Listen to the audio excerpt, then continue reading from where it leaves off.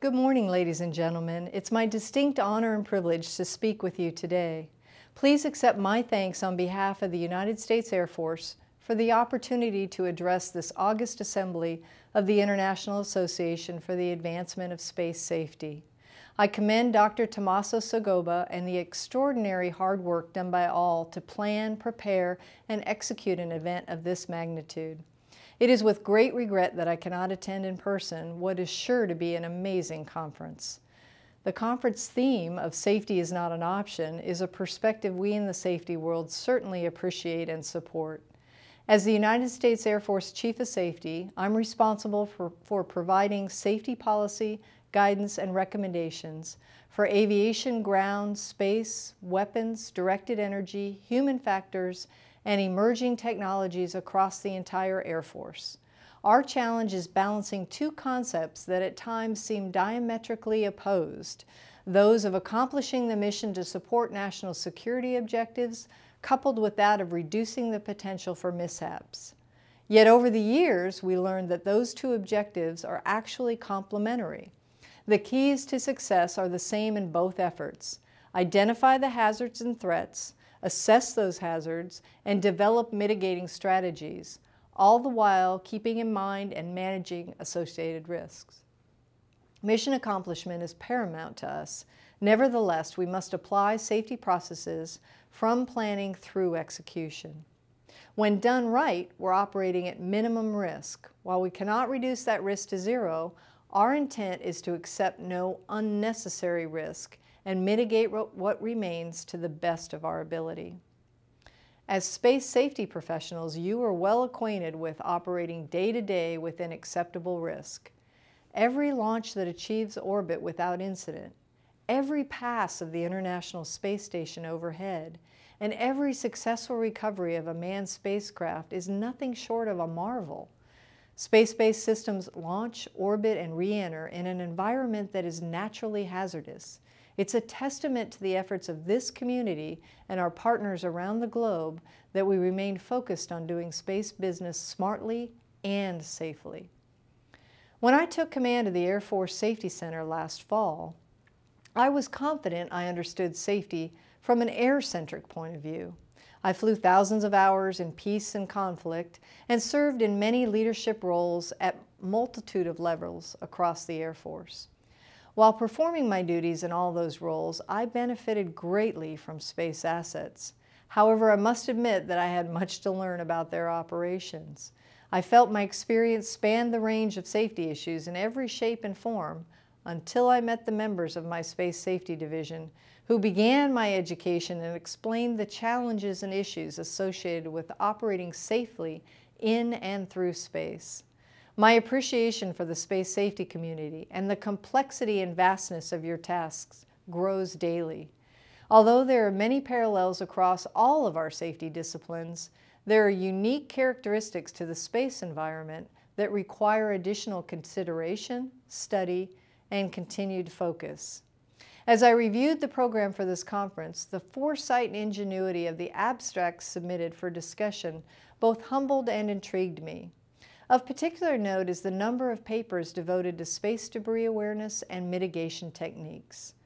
As most of you know, the United States Joint Space Operations Center, or JSPOC, at Vandenberg Air Force Base in California, detects, tracks, and identifies all artificial objects in Earth orbit.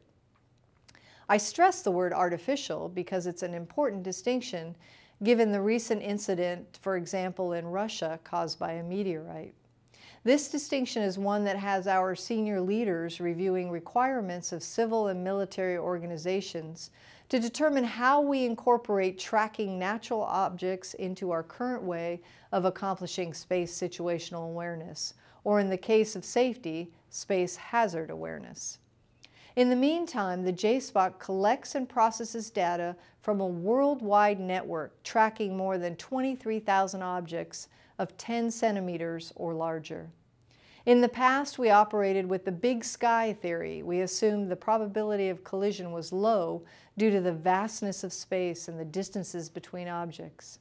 However, the space environment continues to grow more and more congested, not just because of the increasing numbers of spacefaring nations, but also due to on-orbit collisions and breakups. The upward trend of artificial objects in space is alarming and skyrocketed over the past six years from just two major collisions in space. One of the incidents was the Iridium 33 collision with Cosmos 2251 in early 2009. The animation you're viewing is courtesy of the experts at Analytical Graphics Incorporated, and while many of you have probably seen it, I think it's a stark reminder of why our previous operating notion of big sky theory is no longer a valid course of action, or rather inaction.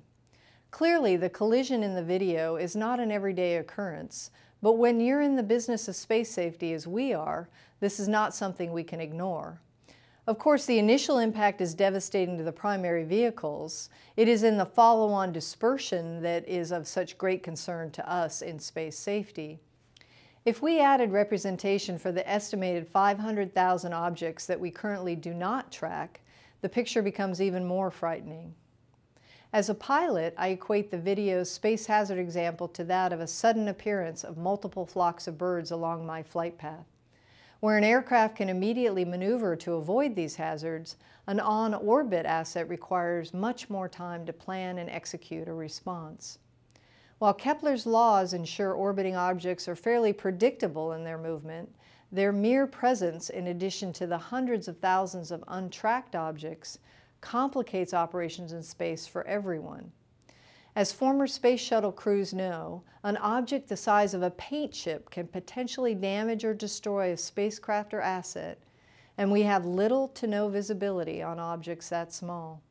I urge you to continue the intellectual discourse and practical application of research to reduce and mitigate the risks of on-orbit space debris and the risk it poses to our space-based assets. The price of the next mishap may be too high for anyone to pay. It is with this concept in mind that the United States Air Force remains dedicated to both principles of our 2010 National Space Policy and President Obama's pledge to cooperate across the international spectrum for the benefit of all spacefaring and space benefiting nations. We support the efforts of the International Agency Space Debris Coordinating Committee to provide guidelines and standards for the mitigation and removal of debris.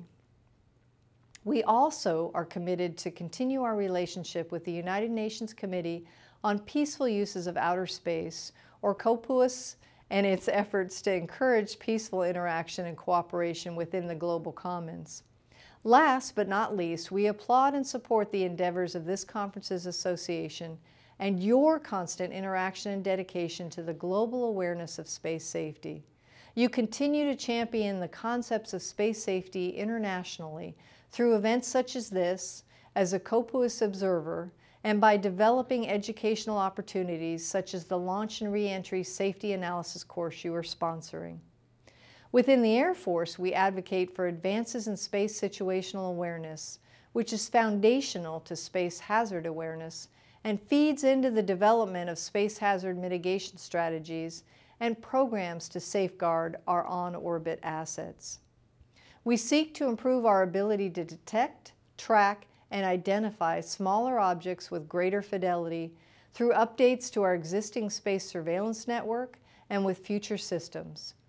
We currently estimate over half a million untracked objects are orbiting our planet, and new programs like the Space Fence will provide a magnitude of more awareness.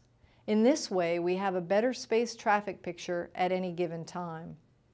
However, as important as better data is, it can become a burden if we fail to improve our computational capabilities to support trending, analysis, and proactive mishap prevention. We're developing the JSPOC mission system, which will ingest the increased data provided by systems like the Space Fence, as well as improve the speed of calculations and processing to identify and avoid potential orbital collisions. In the future, debris removal may be the best hazard mitigation effort, but until then, we focus on identifying, predicting, and avoiding these on-orbit conflicts through improved awareness. Throughout our advocacy and acquisition efforts, we also maintain a continuous dialogue with our counterparts in the U.S. government and across the Department of Defense to ensure we provide appropriate safety policy, guidance, and training to our space operators and users, and proactive safety recommendations to the space enterprise at large. Consider how far we've come from the Sputnik launch on October 4, 1957, to the Curiosity landing on Mars last August. What was space fiction yesterday is reality today. The challenges we faced more than 50 years ago have grown increasingly complicated and will be even more complex in the days to come. Commercial space transportation and space stations, hybrid air and spacecrafts, steadily increasing space launches. The future at times seems daunting. Fortunately, as I considering, consider this gathering of brilliant men and women from all across the planet Earth, I'm filled with hope, hope and confidence that we'll continue to forge a path safely and securely to the fascinating discoveries that await us just over the horizon. My entire space safety team remains committed to building the foundation for that tomorrow with you today. Thank you again for the opportunity to speak here today. Dr. Sgobba, and to you and your dedication in the arena of space safety. I also thank the ladies and gentlemen of this conference for your unswerving efforts for the promotion of space safety on and around our planet. Thank you for your time and enjoy your conference. Once again, my apologies for not being there in person.